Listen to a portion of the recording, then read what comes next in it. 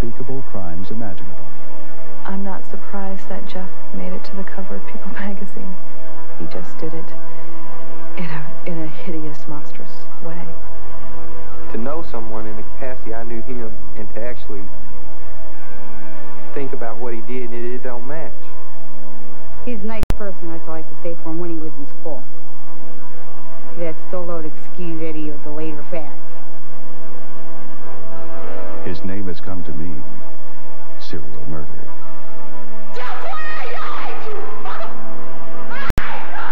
How did he get there? What went wrong? Why are 17 young men dead? They were crimes of love in the most perverse way imaginable. Tonight, the story of Jeffrey Dahmer. Good evening. I'm Forrest Sawyer. It's been nearly two years since we first heard the stories from Milwaukee about a young man named Jeffrey Dahmer and a string of gruesome murders. Since then, we've heard a lot about what Dahmer did and how. The disturbing question that's been left unanswered is why. If there's any hope of preventing other Jeffrey Dahmers, it is an answer we need to know. So for the full hour tonight, we'll travel along the road that turned an apparently normal boy into a man capable of monstrous acts, a man who told one psychiatrist that no living soul could ever love him. You're going to see Dahmer through the eyes of people who knew him, and you'll hear his own confessions. Now, Dahmer's voice and those of the police officers who interrogated him are spoken by actors, but the words are exactly what they wrote and said. One important note, this broadcast is not appropriate viewing for children. We begin in Milwaukee on a Monday night in the summer of 1991.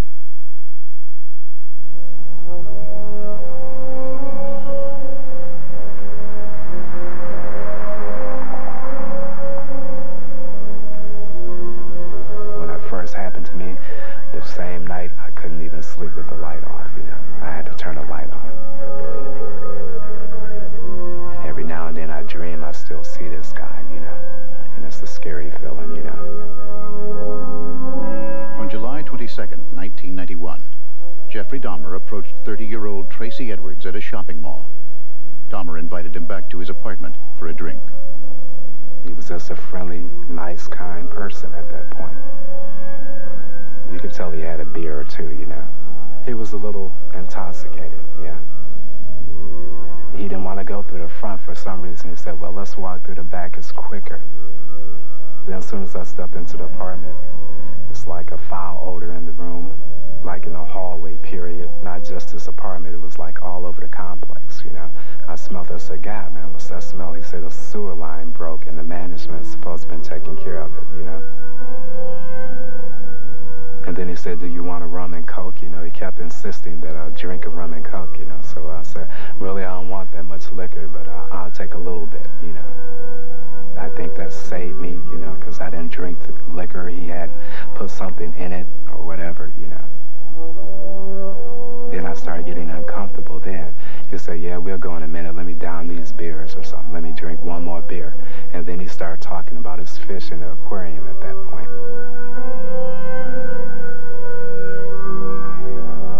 Sudden he pops a big knife out on me in a handcuff, you know, and told me he'll kill me if he didn't do if I didn't do what he said to. And then I told him, why are you doing this? I thought we was friends, you know. And then he said, we are friends. All what I want to do is take new photographs of you handcuffed, and I'll let you go. It all seemed like a dream, and like it wasn't happening. He pulls my arm in back of me, and he sticks the knife up under my, more over where my heart is in my back, you know, and he guides me to the bedroom. Then I realized what the odor was. I guess that's where he done all his victims at, you know, because it was a totally different place, you know. It was a big blue barrel drum or whatever. It had different parts of human bodies in it. So I was just going along with it, and he would just like get quiet. He said, "Here, come and watch The Exorcist with me. It's the best movie they ever made." He would just like sit there in like little trances, you know, just bobbing up and down like he was getting off on the movie, you know, like he was wanting to be the character in the movie, so to speak. And then his whole like character changed, his future, his face structure, you know, it just looked plain evil. I want you to stay with me forever. This is what he told me, you know. And then I said, well, I'll try to. Well, he said, I know you will, because I would, the things I'm going to do to you, you'll be my best one yet. He said, you'll look more beautiful than the others, you know. Yeah, and then he said he'll eat me, eat my heart, because that way I would become a part of him, and he would become a part of me, you know. So I just like hit him, and he kind of fell back like, you know, because he was a little bit intoxicated anyway from drinking, I guess. And he kind of staggered back, sitting on the couch like, and I ran towards the door. And then he only had one lock on the door, and for some reason I grabbed the right lock and got out of there. Tracy Edwards returned with the police, who found evidence of Dahmer's crime everywhere. In the refrigerator, beside an open box of baking soda, was a severed head. In the top drawer of a filing cabinet, three skulls. In the bottom drawer, a collection of bones. They found hundreds of photographs of dismembered bodies. On the bed was a Polaroid camera. Under it, a knife.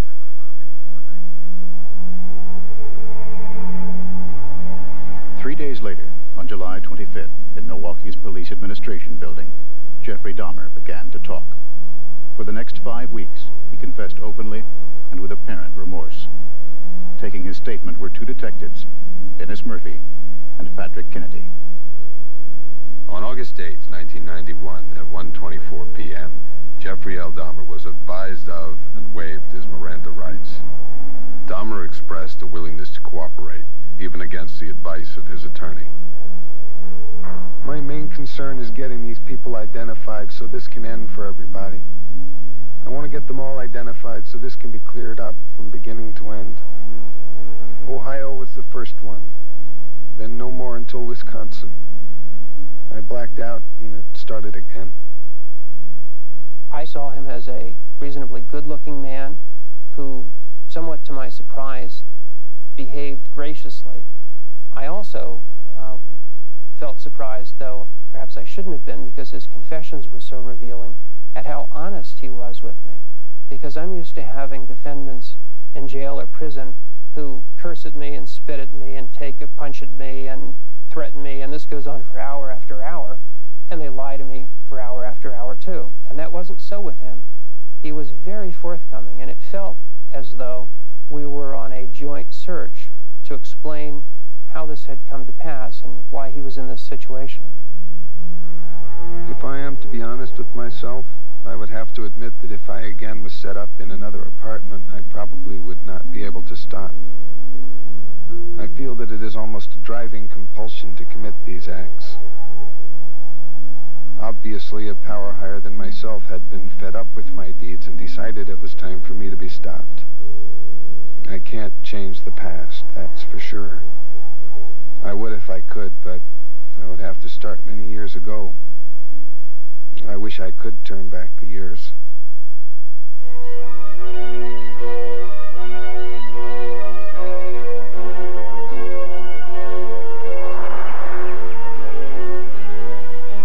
Bath's a small township. It's a, a rural part of uh, our county. It's uh, most of the properties I would say are in the uh, upper income uh, bracket type of properties. Um, main focus, or much of the focus, is on uh, horseback riding. Uh, a lot of steeplechase type of activity. Um, it's just should be a normal, quiet township community where we never see a homicide, but we've had our share of them in a community where being on top is highly valued. I think he felt very, very out of place. Um, many of us have gone on to be lawyers and academics and writers and artists and do things that are really excelling. And so in some ways, um, I'm not surprised that Jeff made it to the cover of People magazine um, in some ways he, in a sense, was living up to those kinds of high expectations. He just did it in a, in a hideous, monstrous way. He states that he remembers his early family life as being one of extreme tension. He states the tension came from the relationship that existed at that time between his mother and his father. He stated although he was not physically or sexually abused, They were constantly at each other's throats. He believes that his mother became depressed after his birth and never quite fully recovered. Dahmer says he felt neglected by his parents, that they devoted all their attention to his younger brother David. David says, I remember Jeff as withdrawn, never smiling, doing things only when prompted by mom or dad. And when angry, he would storm out of the house, go to the wooded backyard, and smash sticks against the trees. I could hear the noise inside for a pretty long time.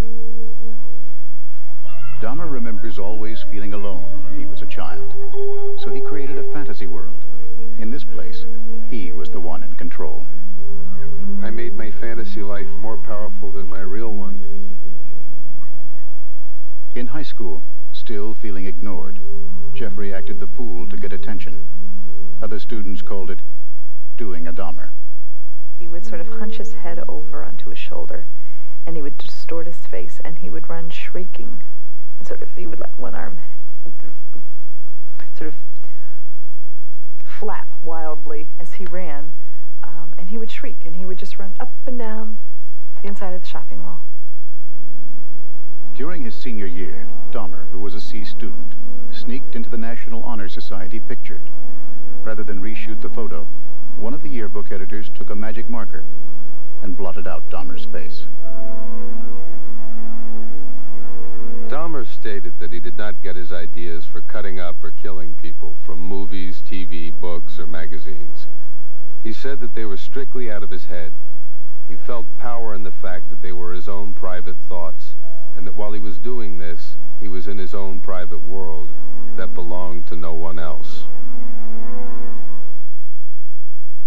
By the time the world heard of Jeffrey Dahmer, 17 young men had been murdered. But the fact is, Dahmer could have been stopped long before that. In a moment, how one chance encounter almost put an end to his crimes, just as they were beginning. From one end of America to the other, people are discovering a better place to buy tires. The best selection of name brands at one store, Sears. And our price matching policy means we won't be undersold. Now through May 1st, save 20 to $40 on a set of Bridgestone road handlers with a 70,000 mile warranty. As low as $29.99 each, our lowest price ever on Bridgestone road handlers. Sears Tire and Auto Center. Driven to satisfy. Fed up with eyewear sales that offer a limited choice of styles you wouldn't be caught dead in? Well, that's not the LensCrafters way. Our 50% off frame sale means what it says. 50% off all LensCrafters frames. Don't miss LensCrafters 50% off all frame sale. If your business gives up AT&T quality and calls from Miami to Seattle with someone else, here's your big savings. Leaving AT&T doesn't make a lot of sense.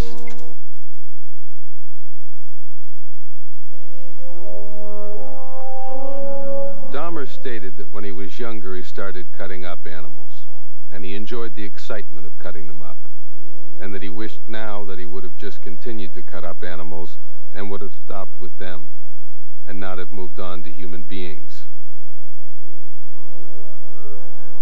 We have a sense that Jeffrey Dahmer is very different from the rest of us. This is a one in a many million case.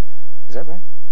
Well, it's true that the things that Mr. Dahmer did are things that only one in a million or less will do. But it's not true that he's very different from the rest of us. The only thing different about Mr. Dahmer from large numbers of people is that his particular sexual interests go beyond the pale of what most of us can understand. He learned in growing up how different he was from others in his sexual makeup. Imagine being a youngster discovering that you're having recurrent thoughts about relating in an intimate way to corpses. How in the world could anybody get into a position where he commits these kinds of crimes? Do you find anything in his childhood? I think the most significant aspect of his childhood has to do with the particular things that he was thinking about around the time that he was becoming sexually interested and alive. Among the things are a pleasant liaison with another adolescent boy, The first time he experienced any sexual behavior was when he was approximately 14 years old, and that was with a young boy who lived across the street. They mutually consented and got together on several occasions in a treehouse where they simply kissed and touched each other's body. Around the same time that was happening, he had become interested through a high school dissection project in dissecting animals. When, you, when you're dissecting these pigs, you want to, you're studying, it's interesting, you look, you see the heart, the intestines, the lungs, uh, the bone structure, this kind of thing. I'm not sure Jeff really cared about any of the conceptually interesting things about the, the fetal pig. I think um, he was more getting pleasure out of taking it apart. And he began bringing home dead animals from the roadside, which he would dissect and keep the bones, trying to preserve them. That was something he was spending many hours doing at a time when perhaps other boys were out playing baseball or beginning to spend more time talking about girls or stealing a copy of Playboy from their father. For Jeffrey Dahmer, that period in which he was developing sexually is one where his thoughts often were of taxidermy, of dissection, of biological specimens. He also stated that during the time he was cutting up animals, he would fantasize what it would be like to cut up a human being.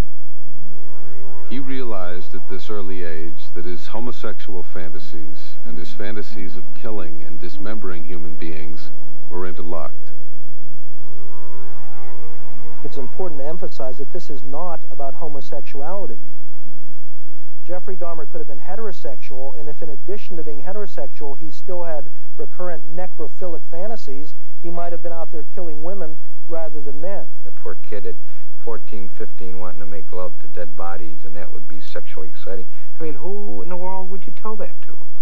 I know in my own life, I would never tell it to anybody. I'd have to live with that. Dahmer turned to alcohol for relief.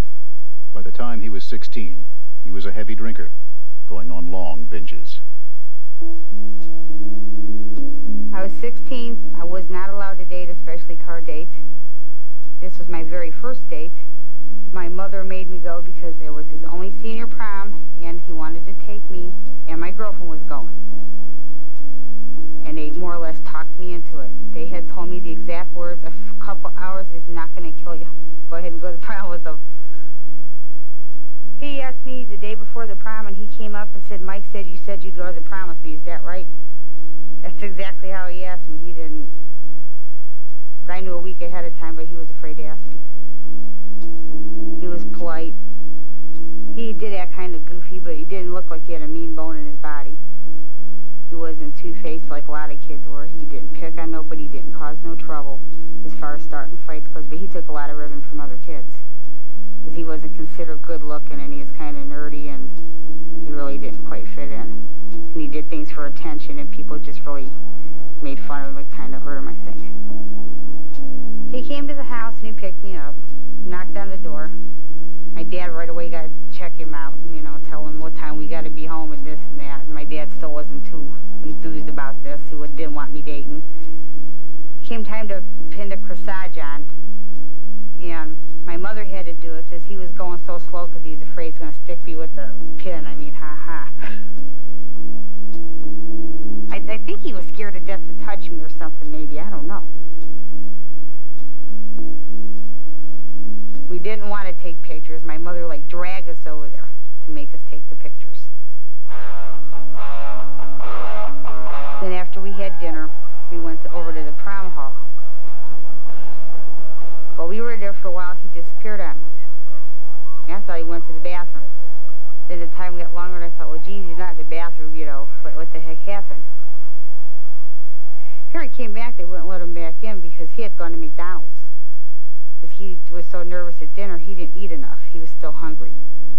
He had the McDonald's bags to prove it. Show me, here's the cheeseburger wrappers. I saved them so in case, you know, he didn't believe where I was.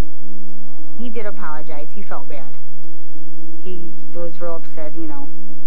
Yeah, he said he thought, because he thought he embarrassed me. And I said, no, I was fine. You know, stuff happens. And then he took me home. I think the whole night was over by maybe 11 o'clock, 12. Now, suddenly, Dahmer's life began to change completely. In the middle of a brutal divorce battle, Jeffrey's father had moved out. Weeks before the divorce was finalized, Mrs. Dahmer took Jeffrey's brother David and relocated out of state. Just 18 years old, Jeffrey was left alone at the house on West Bath Road. He states that it was at this time that he remembers having strong desires of not wanting people to leave him. He stated that it was also at this time that he began hating sleeping alone at night. The suspect states that he began having fantasies of killing people to overcome the feelings he had of frustration and emptiness which he felt were in his life. Now completely isolated, Dahmer gave in to his fantasies. He saw a man jogging by the house whom he thought was attractive to him, and he had the idea that he could hide in the bushes with an instrument, could club that man on the back of the neck, and could pull him into the bushes and have his way with the unconscious man. And so he did go out with a baseball bat that he'd cut down to size, hid in the bushes, and waited for the jogger to pass, but the man didn't return. Another victim was not far away. Only three weeks after Jeffrey Dahmer's prom date, he committed his first murder. Dahmer expressed a willingness to answer questions regarding the death of Stephen M. Hicks. He looked at the photograph of Hicks and stated, It's been a long time. That could be him. That looks like the guy. You remember your first one. In the early evening, around 9 p.m., I was driving down the Cleveland-Massillon Road towards the mall area when I saw a guy about 18 years old near the fire department hitchhiking. Pulled over, offered him a ride, wanted to know where he was going. Uh, Mr. Hicks indicated he was going to a concert out of Chippewa Lake. Uh, they made a turn, uh, reversed their direction, went back up Bath Road, took Mr. Hicks back to his residence. Mr. Hicks wanted to leave. Uh, Mr. Dahmer didn't want him to leave, although he realized that Mr. Hicks was not a homosexual, had no homosexual tendencies, uh, but felt that he wanted that companionship, just wanted somebody there. I didn't want him to leave. That's basically it. I just didn't want him to leave. That's where this whole nightmare started. He decided that he was not going to let Mr. Hicks leave. He got the barbell, struck him on the head. Um, he decided at that time to fulfill what he thought was a fantasy, or he fantasized on, and that was kill him. He then strangled the male from the back with the same pipe. Jeffrey L. Dahmer then stated, I panicked and took him into the part of the house by the crawl space. This is where some of his illness now really does indeed begin to take over. Uh, again, it's tragic in terms of the victims' families, but Mr. Dahmer at this point is now beginning to relate intimately and sexually to this body that he has with him. He does this on more than one occasion. And so it was then that he had his first real life experience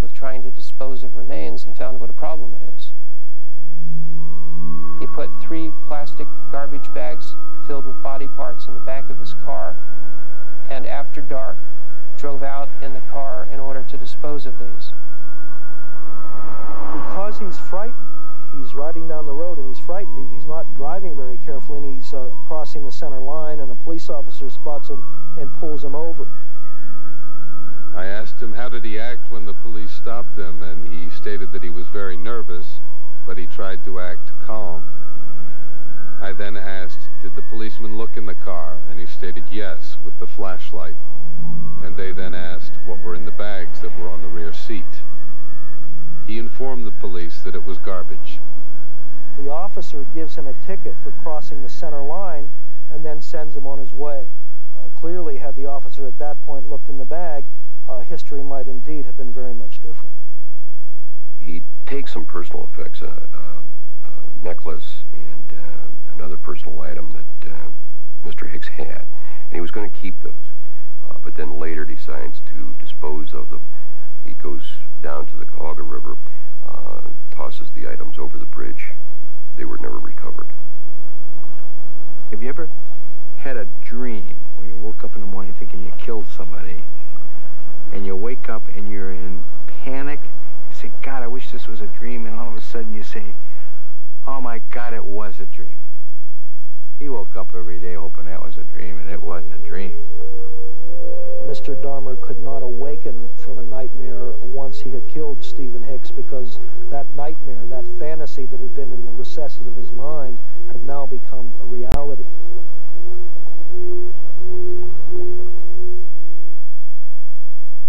The demons that were inside Jeffrey Dahmer had now been turned loose, and for the next few years he would struggle to control them. But as you'll see, he and others would pay a terrible price. Day one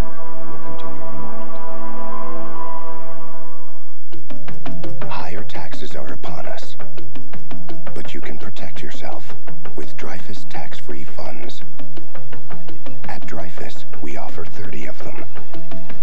And since we pioneered tax-free mutual funds, you could say we've developed pretty good instincts. For more information and a free prospectus, call 1-800-TAX-FREE. Dreyfus Tax-Free Funds. Survival of the smartest.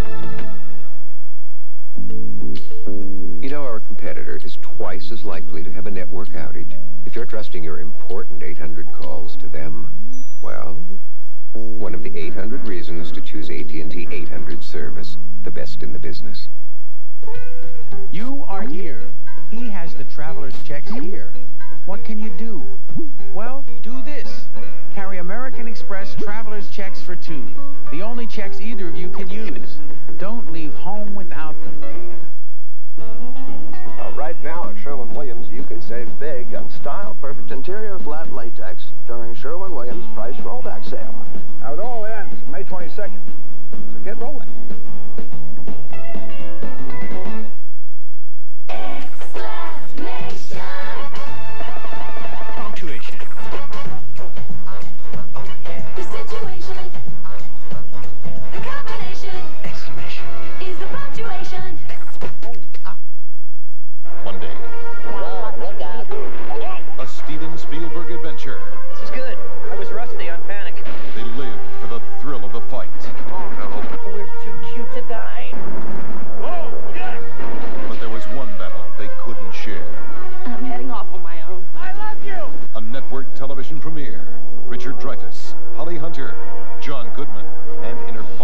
Theatrical performance, Audrey Hepburn.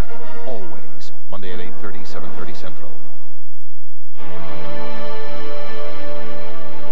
When day one continues, He took the skull of somebody he'd killed and kept it in a locker so he could be close and have companionship with it.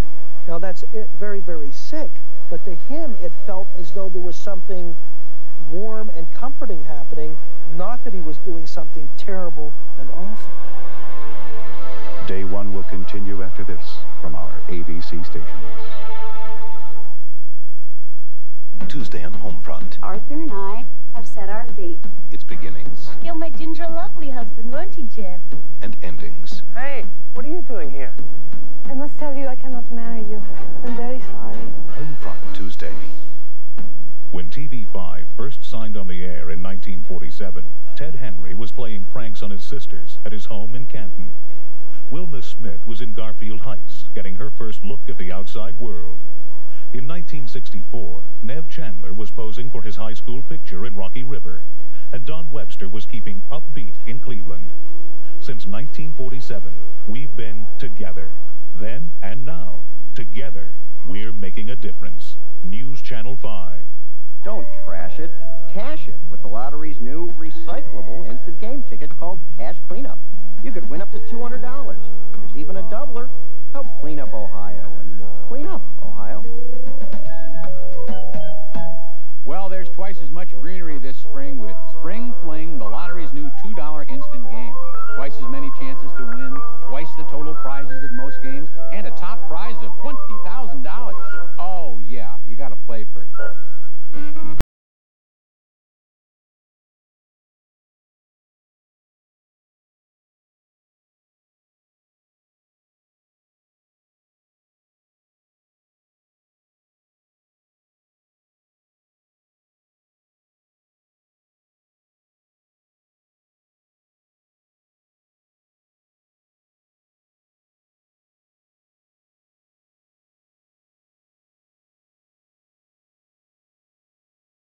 Arsenic and Old Lace, late night tonight.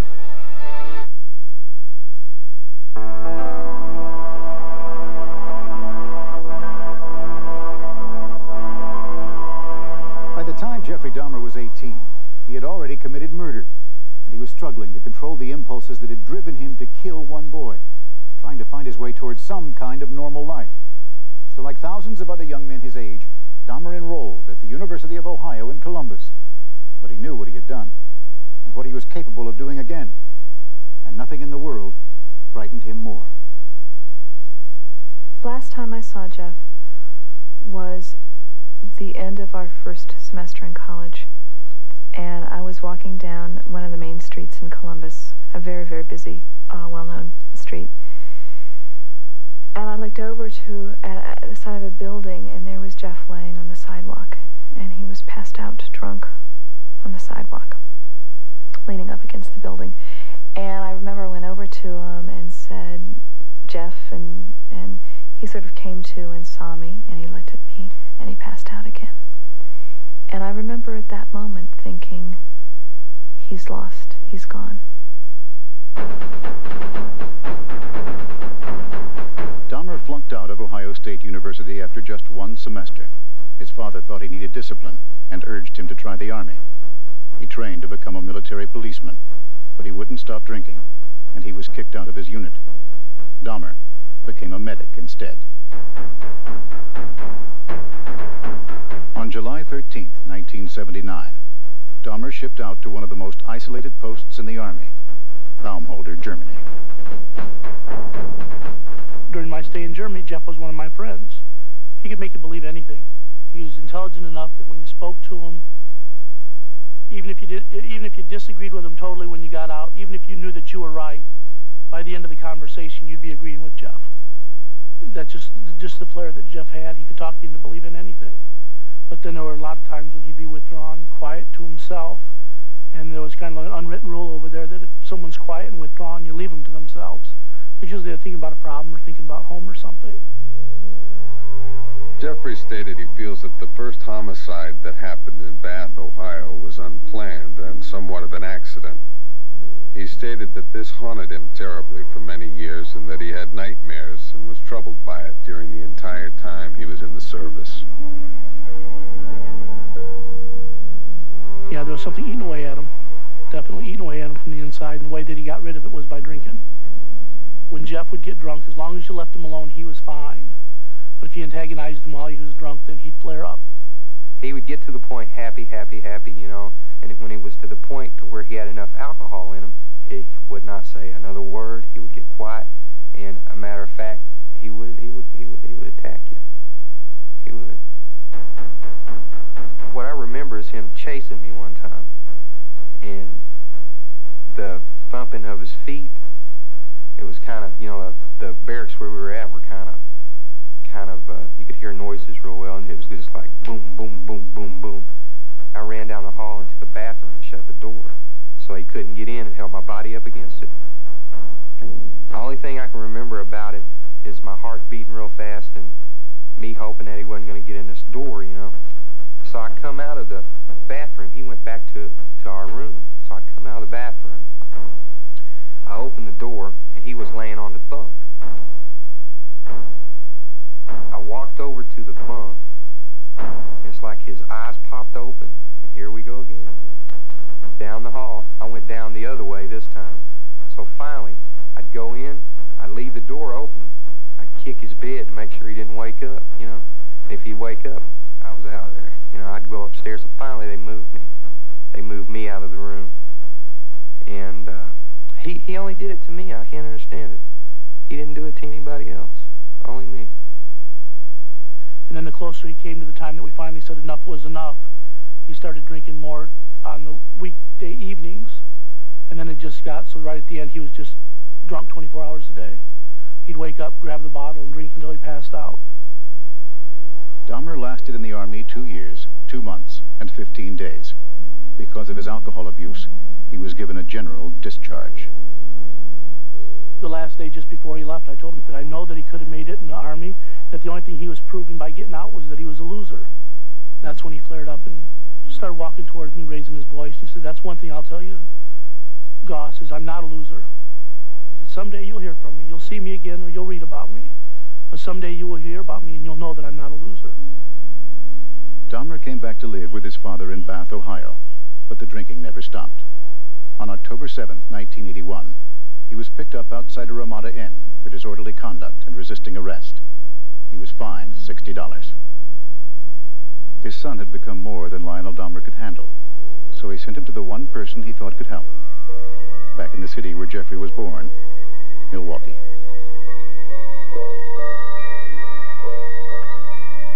Dahmer moved in with his grandmother in the suburb of West Allis. Catherine Dahmer is, by all accounts, one of the only people Jeffrey Dahmer ever loved. It was at this time he decided to try to put behind him the nightmare he'd relived regarding his first homicide. He constantly fought urges to kill by attending church with his grandmother, by reading the Bible, and by trying to live his life in an orderly fashion. To walk the straight and narrow are the words he used. He stopped drinking. He tried to suppress any homosexual thoughts. He tried to suppress any sexual thoughts at all. For two years, Dahmer did manage to stop drinking, and he found work, first as a phlebotomist, drawing blood at a company called Milwaukee Blood Plasma. But once again, his work was poor, and once again, he was released. I didn't like sticking people with needles. So he tried working as a mixer at the Ambrosia Chocolate Company on the graveyard shift. One worker described Dahmer this way. He was a real quiet guy. He was the type of guy that went on a break. He would drink his coffee, eat a donut, stare at the wall. Was there a trigger that pushed Jeffrey Dahmer back down that road he tried to go away from? He describes an incident where he was sitting in a library uh, reading, and a man passed him a note, which Mr. Dahmer uh, interpreted to, to be a proposal to become involved with this fella in homosexual activity. Mr. Dahmer reports he turned that down at the time, but that began to get him thinking about getting back into homosexual activity, and clearly with the homosexual activity to move more down the line of becoming involved in the killings. But still, he tried to avoid killing again. He thought maybe he could act out his fantasies some other way.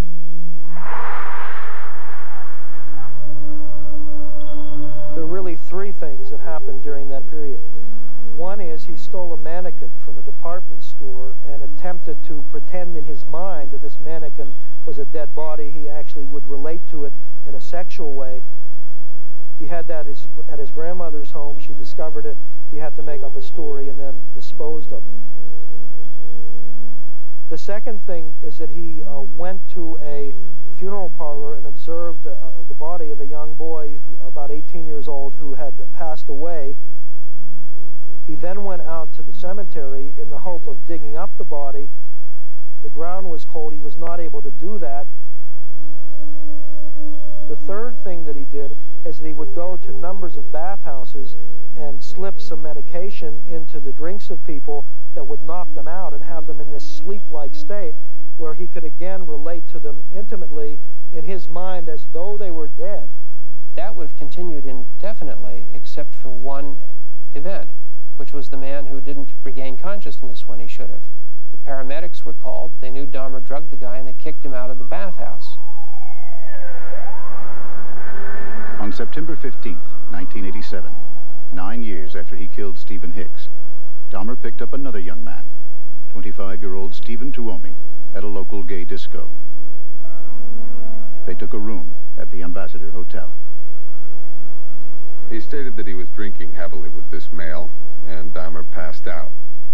When he woke later, he found the male dead in his bed. Dahmer stated that it looked like he beat the male on the chest with his fist. Dahmer stated that he believed that he had blacked out and killed the party. He begins to believe that uh, now he's killed again. Uh, is there any God? Maybe there's just an evil force, a devil in, in, in this world. Uh, and uh, really at that point stops fighting, begins to believe it's his destiny to do this. He now begins to feel that it is meant to be that he's going to kill. It's hard for me to believe that a human being could have done what I've done. I want you to understand that my questions regarding Satan and the devil were not to diffuse guilt from me and blame the devil for what I've done, because I realize what I've done is my guilt. But I have to question whether or not there is an evil force in the world and whether or not I have been influenced by it. Buried in Dahmer's questions about evil was a kind of surrender, a feeling that his urge to kill was irresistible. Soon he would be completely controlled by his obsessions, carried into a world where killing was a part of everyday life. When we return, the final chapter of Jeffrey Dahmer. In the ongoing march against dirt, Bissell takes a giant step forward. Bissell proudly brings you one powerful cleaning system that deep cleans deep down carpet dirt, powerfully cleans your upholstery, and even replaces your vacuum for everyday cleaning and wet spills too. The Bissell Big Green Clean Machine. Once again, Bissell makes dirt history.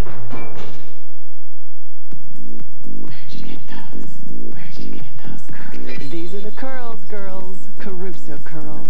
Salon perfect curls that stay bouncy all day.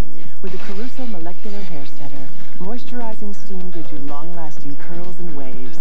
Gently, quickly, easily, without damage from hot curlers and irons. So have your Caruso curls. And keep them all day with the Caruso molecular hair setter. If you give up AT&T quality and call from Phoenix to Dallas with someone else, here's your big savings. Leaving AT&T doesn't make a lot of sense. Switch to the big twin? Give me one good reason. This is new? A twin for normal skin and a twin for sensitive, right? It was great. The new Big Twin Select. Made a big man out of me.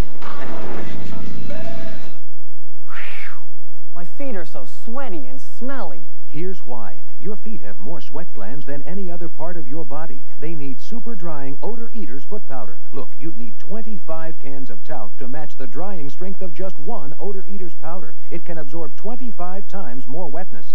Wow. It even keeps my feet dry. And no more smell. Odor Eaters Foot Powder from the makers of Odor Eaters insoles with the world's most powerful odor destroyer. Next, a world television premiere. Roseanne and Tom are in search of the king. He is coming back.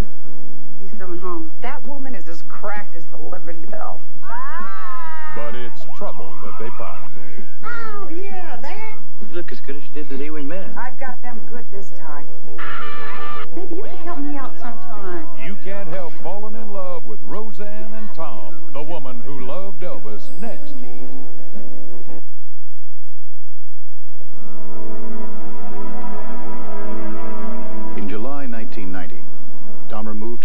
Oxford Apartments, a cheaply made building in the middle of a decaying urban ghetto. Dahmer requested another cup of coffee and a cigarette, at which time I complied, and he stated, Is there anything else you wish to ask me regarding these offenses? At this time, I began to question Dahmer regarding the way in which he would decide which individuals to approach. It was typically a Friday, preferably on a long weekend. Before he went out cruising for victim, he would take the medication and grind it and place that in a glass, carefully placing the glass that had drug in it in one location and the one that he would use in another location. And he'd go to his favorite haunts, which were these gay bars.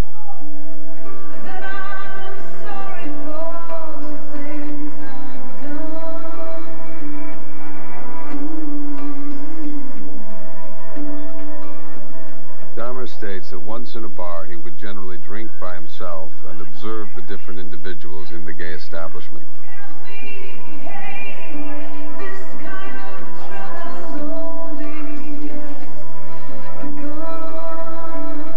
He states that it did not matter the color, race, or ethnic heritage of his victims as long as they met the general physical profile. He'd look for who had the shoulders he liked, the physique he liked.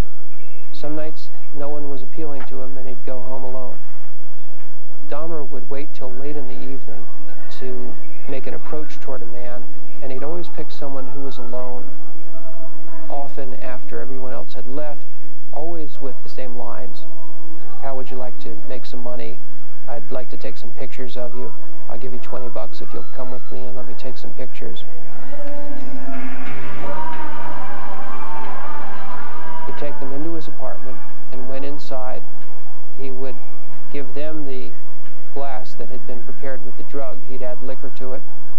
And once the man was asleep, he now knew that he had hours available to him.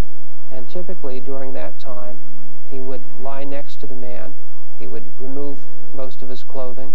Sometimes he would photograph the man in various positions and in various states of dress and undress. He would uh, masturbate while fondling him. But there's one thing he always did before strangling him, and that was drink some more, because he hated that part. The idea of killing them was abhorrent to him. Mr. Dahmer did not feel as though these people were dead because he was still relating to them. He would talk to them, he would cuddle them, he would hold them, he would think about them. He took the skull of somebody he had killed and kept it in a locker so he could be close and have companionship with it. Now that's very, very sick, but to him it felt as though there was something warm and comforting happening, not that he was doing something terrible and awful. They were crimes of love in the most perverse way imaginable. And every time he disposed of a victim, he thought what a waste this was to take the life, to ruin what he had thought was a beautiful human. So he had the idea that if he were to preserve a part of the person, the skull, photographs, skeleton, then it wouldn't be such a waste. He drew for me a picture of what he meant to develop. It was of a very simple table on which he had skulls lined up facing forward. There would be a full skeleton suspended on each side of the table. Above the table would be a face looking down on the action. He wanted to be able to recline in this throne-like chair and admire his handiwork of the skulls and the skeletons with candles burning and had the magical idea that perhaps if he did that and did it just so, he'd be able to get in touch with some kind of higher power or evil power that would embolden him and make him able to commit these crimes. He stated that the only time he ever consumed any body parts was one time, and it was the biceps. He states that he feels by eating parts of the victim, this was his way of keeping him even longer and making his victims part of himself. He then stated he didn't want to talk about it anymore. On May 27, 1991, Dahmer lured Konerak Sinthasomphone, a 13-year-old Laotian, to his apartment, offering him money to pose for photographs. This time, he wanted to try something different, to create a zombie caught between life and death. What he'd done to that boy had been a procedure that was known to the ancients as trephination, that is, to drill a hole into the skull, and then he'd injected acid into that hole with a turkey baster to try to damage the brain in what he thought of as a lobotomy. That would perhaps eliminate the will. The first time he tried it, he really did try to make it something like surgery. He got a surgical mask. He um, bought chloroform and ether. He found he didn't need them because the, the subjects were already so drugged they didn't respond to the drilling procedure. They didn't suffer any pain from that. He'd then go ahead and inject the substance and watch to see what happened. When the boy failed to regain consciousness, Dahmer grew bored. He stated that he left the apartment, went to the Gare Bear bar, and drank beer until closing time. After leaving, the tavern, he observed the victim sitting completely naked on the southeast corner of 25th and State. And there were two black females standing by him, and they appeared to be hysterical. He walked up to the victim, whom he realized was speaking to the black females in Asian. At this time, he advised the ladies that the victim was in fact a friend of his, and that he attempted to pull the victim in the direction of his apartment when he noticed that the fire department had approached from the east end of the alley, and the Milwaukee police were coming from the west end of the alley. So he comes forward, speaks to the police, knows that he has pictures that he's taken with this young Laotian boy in the house where the boy was clearly consenting, and is able to invite the police in and persuade them at that moment that this was just a battle between two men who were engaged in a consenting homosexual relationship. The police are convinced and they leave. And so the police leave, not knowing that there's a dead body in the bedroom with the closed door, that there are body parts in the refrigerator that he hadn't yet disposed of, and that there are a lot of body parts in the freezer that he hadn't disposed of. Mr. Dahmer, at that point, however, does kill the young Laotian boy, now has two bodies in his apartment, goes on to kill several other people as the bodies continue to mount up, has the stench in his apartment so bad that the neighbors are complaining, begins to be so preoccupied with this that he loses his job and is not even turning up at work, and certainly to me, at that point, seems to be a person absolutely out of control, where the only issue for him is to continue on and on and on like a steamroller.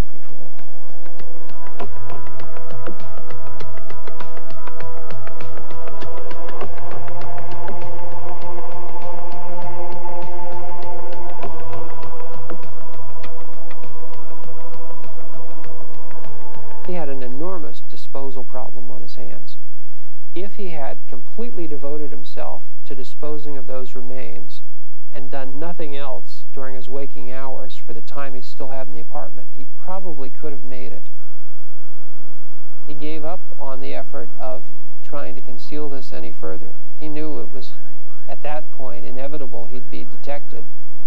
And so he went on with the same habit and brought yet another victim home. That victim was Tracy Edwards, who made a successful escape and came back with the Milwaukee police. The trial lasted two weeks. On February 15, 1992, after 10 hours of deliberations, the jury returned a verdict. On each one of 15 counts of murder, they found Jeffrey Dahmer legally sane and therefore guilty.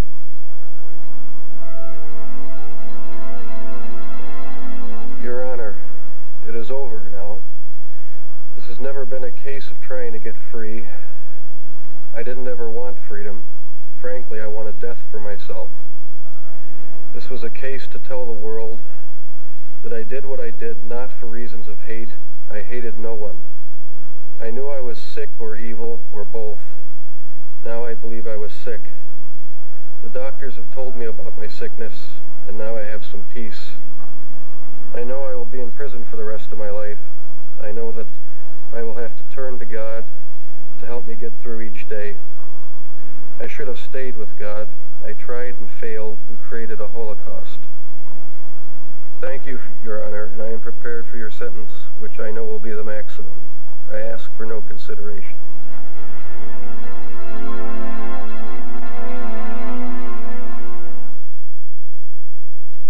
After Jeffrey Dahmer was captured, he asked one of the examining psychiatrists if there was anyone else out there like him.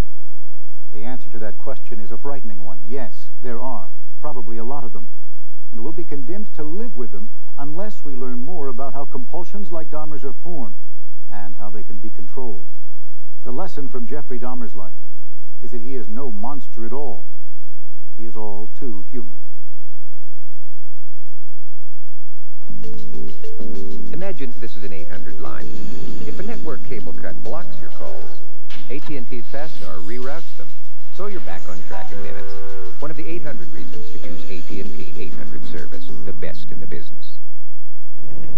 Driving a Volvo usually inspires a certain sense of safety.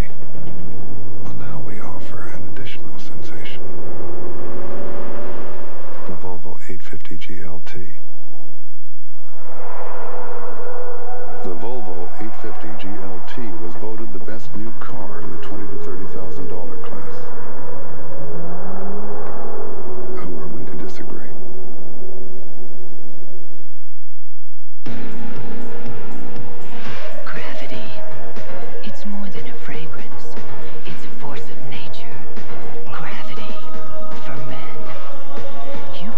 resist it, even if you tried. This is a Gold okay?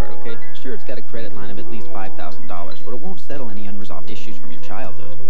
Well, maybe it could. I mean, no Gold card is more accepted on the planet, so you can take your parents to dinner practically anywhere and say, Mom, Dad, you raised me, I owe you a steak. It might be smart to buy them a grandfather clock to replace the one you demolished when you were eight, and if this one gets broken, the Master Purchase Plan can replace it. So, I guess a Gold MasterCard could resolve some childhood issues. Wow, Gold MasterCard. It's more than a Gold card. It's smart money. Coming in May. Kidnap victim or accomplice. Chuck, you're the greatest. A teenage girl's terrifying ordeal. Murder in the heartland. You're telling me that that thing out there is talking to you? Something wonderful is happening in Haven. Pray it doesn't happen to you. Stephen King's The Tommyknockers. From the director of Platoon and JFK.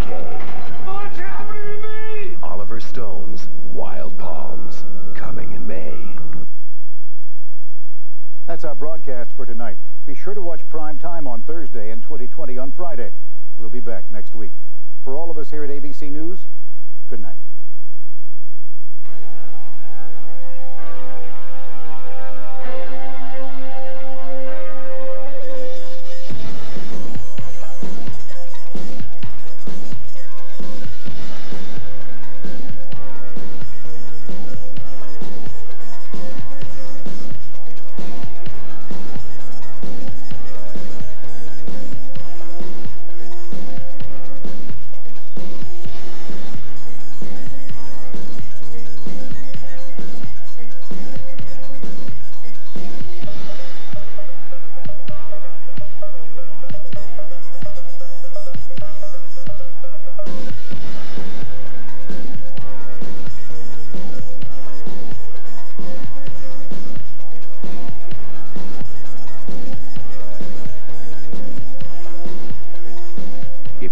Receive a transcript, please send $7 to Journal Graphics, 1535 Grant Street, Denver, Colorado, 80203.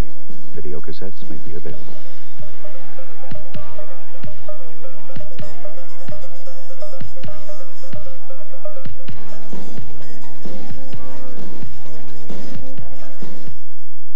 Day one is a presentation of ABC News. More Americans get their news from ABC News than from any other source.